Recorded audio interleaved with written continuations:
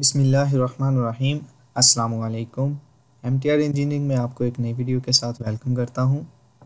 आज की इस वीडियो में मैं आपको बताऊँगा कि एक्सेल शीट में ये जो इनसे आपको नज़र आ रहे हैं, इनको अरेबिक स्टाइल में कैसे चेंज करेंगे, ठीक है? अभी जैसा कि मैंने एक्सेल की एक न्यू शीट ओपन की हुई है तो यहाँ पे हम जब भी टैप करेंगे तो ये इस स्टाइल में आ रहे हैं। तो इनको हम अरेबिक स्टाइल में कैसे चेंज करेंगे? इसके बहुत सारे मेथड हैं, लेकिन मैं आपको एक इजी सा मेथड बता देता हूँ, आप वो सेटिंग कर लें, उसके बाद आप, उसके बाद आप एक्सेल में कहीं भी रेबिक स्टाइल में लिख सकेंगे।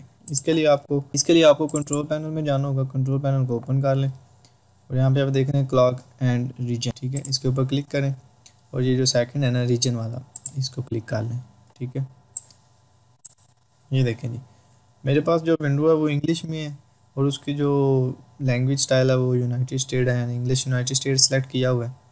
तो हम चाहते हैं कि एक्सेल में हम अरेबिक स्टाइल में लिख सकें। तो आपको जस्ट यहाँ से रीजन में अपने रीजन सेलेक्ट करनी होगी, जिस रीजन में आप काम कर रहे हैं। मुझे सऊदी अरेबिक स्टाइल चाहिए। तो ये देखें, ये अरेबिक सऊदी अरेबिया यहाँ से आपने सिर्फ़ रीजन को सिलेक्ट करना होगा, ठीक है? बस। इसके अलावा और कोई सेटिंग ना करें। इसको अप्लाई करके ओके कर दें। अभी दोबारा चलते हैं एक्सेल शीट में। तो ये देखें। ठीक है? ये भी सेम उसी तरह फॉन्ट लिखे जा रहे हैं। अब यहाँ से एक सेटिंग हमने वहाँ पे की है और दूसरी सेटिंग हमें यहाँ पे करनी होगी। इसको जितने, जिन जिन बॉक्स में आप रेबिक स्टाइल लिखना चाहते हैं, उनको सेलेक्ट कर लें। उसके ऊपर राइट क्लिक करें। तो यहाँ पे होगा फॉर्मेट सेल्स इसके ऊपर क्लिक करें। ठीक है जी, ये आपको नीचे अलाइनमेंट में जाना है। अलाइनमेंट के बाद ये देखें, नीचे टेक्स्ट डायरेक्शन इसको जस्ट राइट टू लेफ़्ट कर दें। ओके ये देख लें। ये आपके पास अरेबिक स्टाइल आ गए हैं, ठीक है?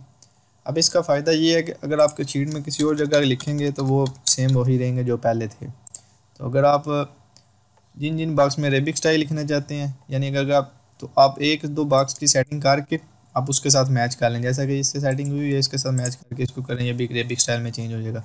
अगर आप पूरी शीट में रेबिक स्टाइल लिखना चाहते हैं तो पूरी शीट को यहाँ पे सिलेक्ट करें, किसी भी बॉक्स के ऊपर राइट क्लिक करके सेम वही प्रोसेस दोहरा लें, ठीक है?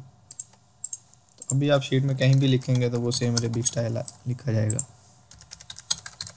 तो इस तरह आप एक्सेल के अलावा अपने कंप्यूटर में किसी भी प्रोग्राम में अरेबिक स्टाइल में लिख सकते हैं। ये नुमेरिक थे। नुमेरिक को हमने अरेबिक में चेंज किया है। तो उम्मीद है दोस्तों, आपको मेरी ये वीडियो भी पसंद आई होगी। अगर आप मेरे चैनल पर नए हैं तो मेरे चैनल को सब्सक्राइब कर दें और बेल के बटन को प्रेस कर दें ताकि मेरी हर आने वाली नई वीडियो की इतला आपको मिल सके। अपना बहुत सारा ख्याल रखें दुआ में याद रखें। मिलते हैं इन एक नई वीडियो के साथ। तब तक अल्लाह हाफिज़।